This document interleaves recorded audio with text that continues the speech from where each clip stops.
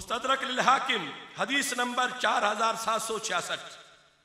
حضرت عبداللہ بن عباس رضی اللہ تعالی عنہما اس کی روایت کر رہے ہیں۔ فلو ان رجلا سفن بین الرکن والمقام وصلى وصام ثم لقي الله وهو مبغض لأهل بيت محمد صلی اللہ علیہ وسلم دخل النار۔ میرے آقا علیہ الصلوۃ والسلام کا فرمان هذا حدیث حسن صحیح علی شرط مسلم.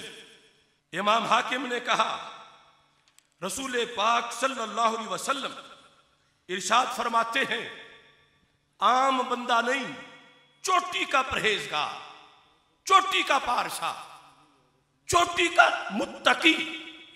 مثال دیتے وقت آخری حد بیان کی۔ کہ عمل میں تو کوئی کمی نہ تھی، مگر گیا پھر بھی جہنم میں۔ بیٹھا کعبے کے در پہ تھا، گیا پھر بھی جہنم میں۔ نور کی آغوش میں بیٹھا رہا ساری زندگی، دو چار گھنٹے نہیں، مگر گیا پھر بھی جہنم میں۔ سبب کیا تھا؟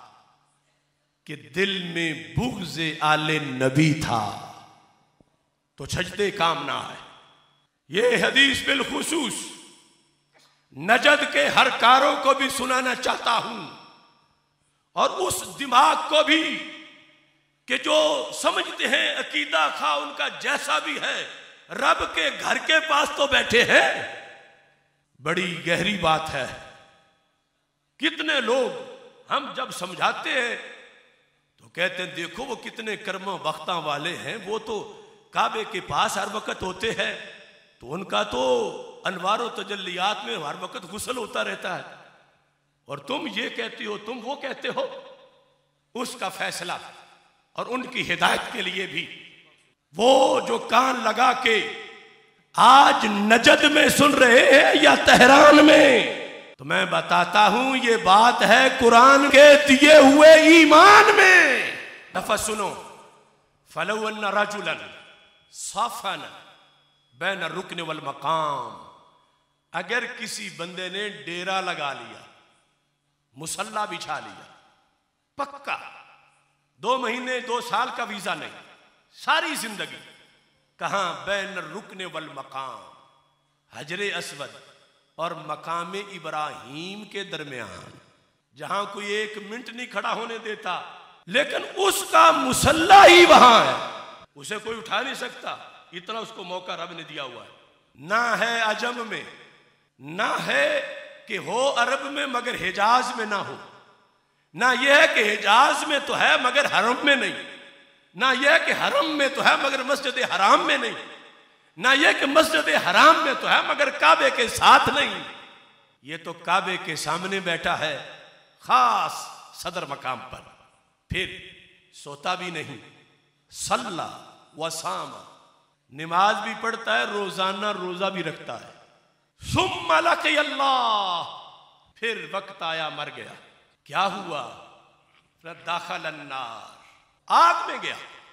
محض نجدی کو پروٹوکول دینے والے سوچ لو کہ صرف کعبے کے پاس بیٹھے ہوئے ہونا کافی نہیں۔ یہ تو بڑی فارمیلٹی پوری کرنے کے لیے دو رکت، چار رکت پڑھ کے پھر آگ ٹانگے پھیلا کے بیٹھ جائیں۔ وہ تو روزہ بھی رکھتا ہے، نماز پڑھتا ہے، دن رات وہاں رہتا ہے۔ لیکن اس کو کعبے کے دروازے نے کیوں نہ بچایا؟ اس کو مکان ابراہیم نے کیوں نہ بچایا؟ اس کو حجر اسود نے اس کے گناہ کیوں نہ دھوئے؟ کعبہ اسے بچانے کیوں نہ آیا؟ کلمہ نے اس کا ہاتھ کیوں نہ پکڑا؟ میرے آقا صلی اللہ علیہ وسلم فرماتے ہیں، بس ایک کمی تھی وہ ہوا مبغض لہل بیت محمد۔ صلی اللہ علیہ وسلم۔ یہ ہے شان، یہ ہے فرضیت کہ وہ بغض رکھتا تھا، نمازی تھا، روزے دار تھا، کعبے کے قرب میں تھا۔